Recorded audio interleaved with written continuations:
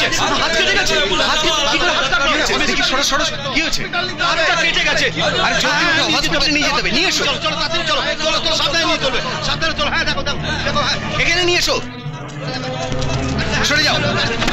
এখানে বসাও। রাজু ভাই আমার কথা রাজু ভাই। তাড়াতাড়ি সরে যাও। রাজু ভাই। রাজু ভাই আমার কথাটা শোনো রাজু ভাই। ম্যাডাম হাতে না লাগে। রাজু ভাই আমার চাকরি চলে যাবে রাজু ভাই। রাজু ভাই প্লিজ রাজু সরে যাও রাজু ভাই। রাজু ভাই।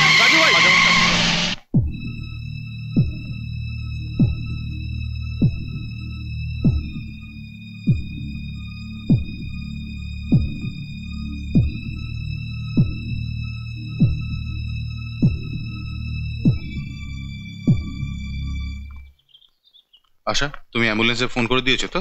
ইয়েস স্যার তোমরা সব ব্যস্ত হয়ে না অ্যাম্বুলেন্স এসে যাবে। ড্রাইভার ড্রাইভার আগে ম্যাডাম গাড়ি নিয়ে এসো। ম্যাডাম আমার কোনো দোষ নেই ম্যাডাম রাজু ভাই জবরদস্তি আপনার গাড়ি নিয়ে হসপিটাল চলে গেছে। আমার গাড়ি ছোঁয়ার সাহস হলো কি করে? বুঝলে রাজু তুমি ঠিক সময় পেশেন্টকে হসপিটালে নিয়ে এসেছিলে। আর পাঁচ মিনিট দেরি হয়ে গেলে ওর হাতটা কাটতে হতো। কিন্তু স্যার এখন আর ভয়ের কিছু না না? কিচ্ছু ভয় নেই। সব ঠিক হয়ে যাবে। বুঝলে? Thank you sir okay Tushar হ্যাঁ? তুই নারায়ণের কাছে বস আমি এখনই আসছি আচ্ছা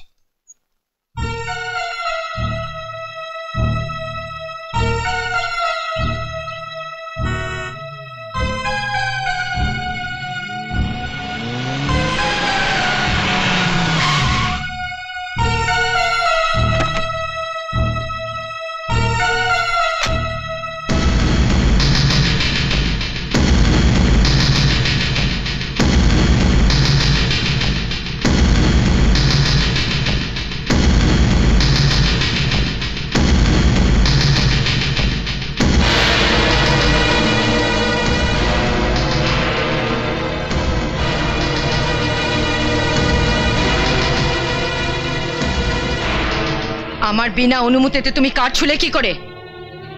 আপনাকে ব্যস্ত হয়ে আসতে দেখে ভাবলাম নারায়ণ কেমন আছে জিজ্ঞেস করবেন এটা আমার প্রশ্নের উত্তর নয়। ম্যাডাম রাস্তায় কোনো অচেনা লোকে অ্যাক্সিডেন্ট হয়ে গেলে পথের লোকেও তাকে গাড়িতে নিয়ে হসপিটালে পৌঁছে দেয়। আর নারায়ণ তো আপনার শ্রমিক। এটাও আমার প্রশ্নের উত্তর নয়। তাহলে আপনার প্রশ্নের উত্তর হলো নারায়ণকে হসপিটালে নেওয়া জরুরি ছিল। অ্যাম্বুলেন্স আর শব্দে অপেক্ষা করতে? অ্যাম্বুলেন্স আসা অব্দি অপেক্ষা করলে নারায়ণের হাতটা কাটতে প্রয়োজন হতো। তার একটা হাত কাটা গেলে এই ফ্যাক্টরি বন্ধ হয়ে যেত না। কিন্তু বিনা হাতে সে চাকরি করতো কীভাবে? তার ছোট ছোট ছেলে মেয়ে রাস্তার ভিখারি হয়ে তার যেত ছেলে মেয়েদের জন্য আমি তাকে এক লক্ষ টাকা ক্ষতিপূরণ দিতাম। কিন্তু এক লক্ষ টাকায় সে কতদিন চলতে পারতো ম্যাডাম? হতভাগ্যদের সঙ্গে এমন সওদা করবেন না। আপনি বোধহয় জানেন না একটা হাত না থাকলে লোক অসহায় অভাগা। শাট আপ বাজে ভাষণ শোনার অভ্যেস আমার নেই। তাছাড়া তুমি আমার ফ্যাক্টরির ইউনিয়ন লিডার নও কি adviser now. You are dismissed understand you better understand এক মিনিট ম্যাডাম। আপনি কি ভেবেছেন রাজু আপনার গাড়ি নিয়ে বেড়াতে গিয়েছিল? ব্রজ ঠিক বলেছে ম্যাডাম। একজন শ্রমিক আর একজন শ্রমিকের প্রাণ বাঁচানো বলে আপনি তাকে এই পুরস্কার দেবেন? আপনি যদি রাজুকে চাকরি থেকে বের করে দেন তাহলে আমরাও এখানে কাজ করব না। তুমি এ কথা বলছো বিষ্ণু কাকা? তুমি? তুমি এখানে কুড়ি বছর হলো কাজ করছ। আরে মোটে দু মাস হলো।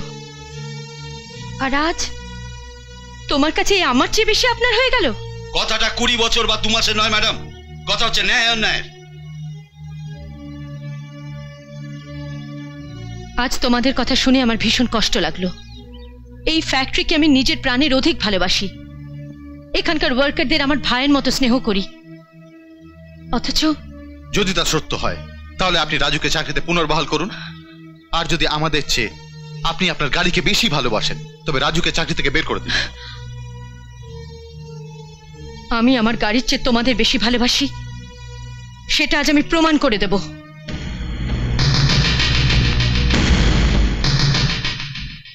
আর তোমাকেও দেখিয়ে দেব যে, আমার কোনো জিনিস যদি কেউ ছোঁয়, আমি তার কি অবস্থা করি?